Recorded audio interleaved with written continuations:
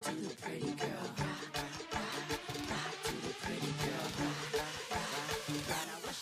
guys, welcome to my channel. I'm Kenna and I'm a Cameroonian YouTuber based in Douala, Cameroon. Can you guys see this beautiful lady near me today? We are doing a collab and I want her to introduce herself first. Okay, hello everybody. I'm Sylvie. I'm a Cameroonian YouTuber and a PhD student. I live in Japan, but I'm here in Cameroon for holidays. Okay, so she reached out to me and we decided to do a collab. And today we are talking about single versus married. Most of the times, so many ladies complain that um, a married lady, she say married lady, she's going to complain that, oh my god, my friends have run away from me because I'm married. And then on the other hand, the single friend is like, my friend has run away from me because she's married. So I don't seem to understand. I want to, I want to understand from your own point of view, like, okay, why do you think that always happens? I think it depends a lot on how your relationship was before you both, before you, uh, one of you got married. For example, if we are like best friends, right, and then you get married, and our conversations were always about how are you doing, uh, what are you doing with your life. Like I have a deep concern for you. Our the foundation of our friendship was probably us being concerned about each other. I think when you get married, it really doesn't change because the only thing is your married friend now has more responsibilities. So as someone who worries about your married friend, you should be like, how are you? Those same questions of how are you doing? How is the family? How are the kids? Of course, those questions now become more, but still that foundation of this is my friend, regardless of that friend being married or not, still stays. So I think it depends a lot on how strong was your friendship. What was your friendship built off on? And if your friendship was also built on, oh my God, these are these two single girls searching to get married, and then one person gets married and one person is not married, then guess what happens? I feel that it now becomes a point where there's a lot of insecurity. Oh my God, my friend is married. I'm not yet married. We both wanted to get married so bad. Now she's gone ahead and gotten married. I'm not yet married. So those thoughts come in place. Those thoughts bring a lot of insecurity. Those thoughts bring a lot of, sometimes to some extent, jealousy.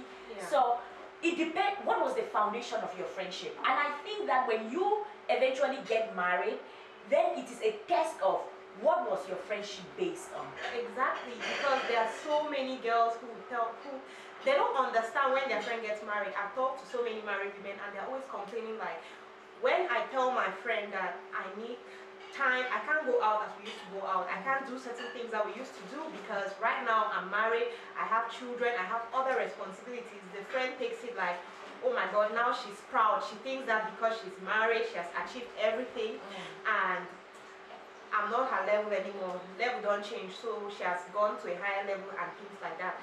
But like you said, the foundation of the friendship really matters. Because if you and your friend, if you sincerely care about your friend, it's not really going to be different. You just understand when your when your married friend is like, okay, I don't have time right now because I have this to do or I have that to do. But there are also some instances that I don't blame a married man for dumping her her single friend because it just depends on the kind of friend that you have. And trust me there are some girls that before they get married they know that the life that they were living was a bad life. For example if before i got married i was dating married men and snatching people's boyfriends i am dumping that friend like honestly i'm not going to keep you around because the Uh-huh. next victim i could be your next victim. So i won't want to be friends with you. And in that case i understand. But if it comes to a case where you you know the way your friend is, your friend is a good person and she just wants the best for you, then in that case, I don't see any reason why you should start thinking like, no, I don't want to be around you anymore. sometimes I've also seen like on uh, on like the day of the wedding where uh, they give the advice. You know they always give advice and things like that. They're like anything will happen for the married now between you and your massa. Anything like now cover them. They always say well that is the roof that covers everything that happens in your home. Don't go around and be telling your single friends about your problems because your single friends cannot understand your problems. So because of all of those, the, the kind of advice that always happens during weddings, I always feel like if my best friend is getting married and then you sit and then all of these uncles have this zillion advice on how don't share your problems sometimes it's like intimidating also like to a single friend who is like okay so what are my boundaries oh am i am i am i allowed to ask about this? Am i allowed to ask about this? I don't even know what is okay. So i feel it's also the responsibility of the married friend who has a single friend to be like okay these are the limits. We can talk about this we can talk about this. Creating boundaries makes it clear such that you can know what you're comfortable talking about what she is comfortable asking you about and then you keep it within those limits. And i've also seen situations where it was the husband yeah like the friend's husband who is like now that we are married i don't want to see those your single friends i don't want to see the, your classmates that you people that you were hanging out with before Yeah, husbands ask their, their, their wives to detach themselves from the company that they were keeping before But so in that case, I just think it's the wife, it's your position to tell your husband that these are people that I knew before you. Mhm. Especially if they are friends that uplift you.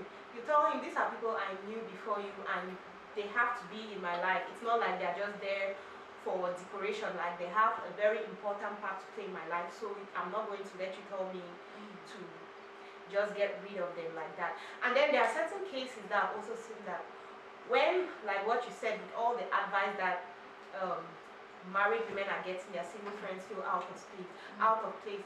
I've seen cases where a married woman is reaching out to her friend. The friend gives her extra, extra space, and then they just lose their friendship because the friend is pushing away, and you're like, no, I want to see you now. The friend is like, no, you're married.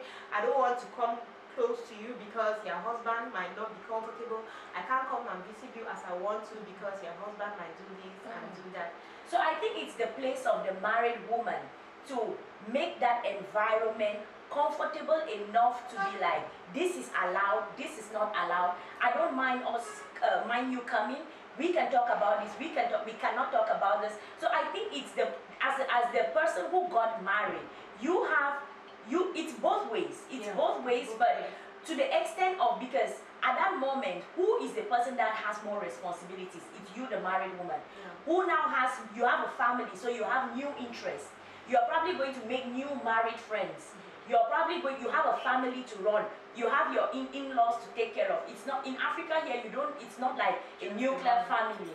You have like the entire so your single friend kind of is looking at you far away like she has a lot of responsibilities. Yeah. so now i think it's your place to be like no i have a lot of responsibilities but listen I can use your help for this.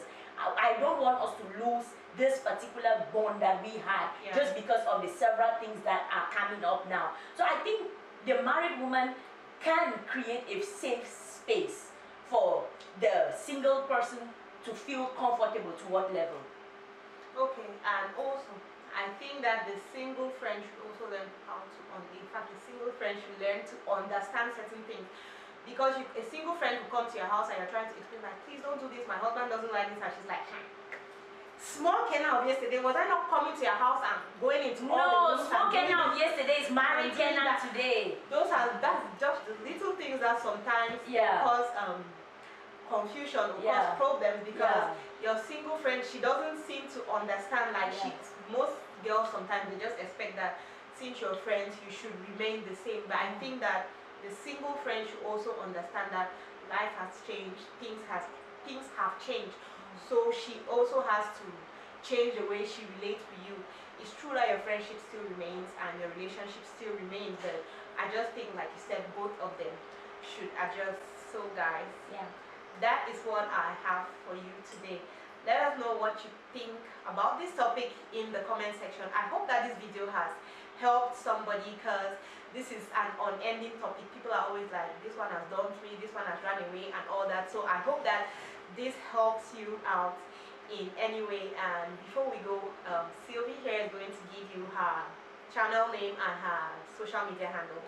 All right, I have two YouTube channels. My one channel I talk about scholarships. It's called Beauty with Brains, and then the second channel is uh, yours truly, CV, C as in cat, V as in van, and you can follow me. Yes, sex education related, everything sex. You can go check it out. And then my Instagram is yours truly underscore CV. You can find me on Twitter, yours truly underscore CV. Facebook, yours truly CV. Everywhere, yours truly. you can follow me there, and then we are going to relate and we're going to chat more. Thank you. Okay, I'll put all her details in the description box. Thanks for watching and I hope to see you guys next time. And wait, before you go, please subscribe. Click on that subscribe button. Subscribe, subscribe, Thanks subscribe, subscribe, and subscribe. I hope to see you next time. Love you. Bye. Bye. Bye. bye.